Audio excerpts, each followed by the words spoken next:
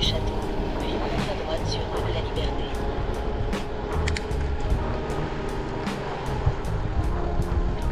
Prendre à droite sur rue de la Liberté, puis prendre à gauche sur rue de la Mairie. Prendre à gauche sur rue de la Mairie.